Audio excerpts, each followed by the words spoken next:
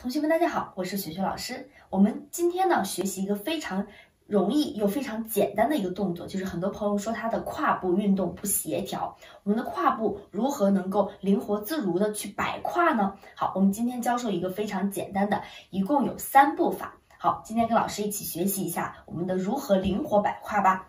好，同学们，我们可以双脚分开站立。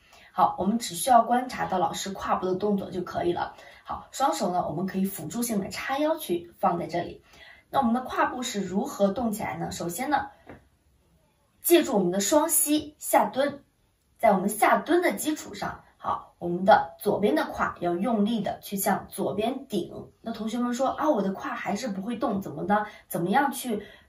做这个左顶胯呢，好，那就是我们在下蹲，胯是正的基础上，我们向左边立直我们的双腿，好，然后把我们的胯出出去，好，也就是在这个基础上呢，这是这是我们的第二步，第一步是下蹲，第二步是立直双腿左顶胯，好，第三步就是先回正我们的下蹲，好，也就是立直双腿右顶胯，非常简单，好，蹲，左顶胯，蹲。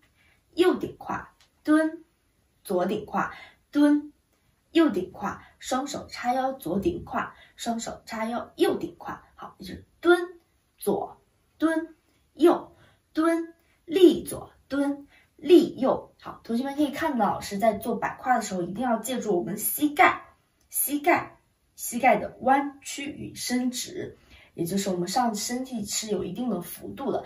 那我们胯部的运动呢，主要是靠我们的。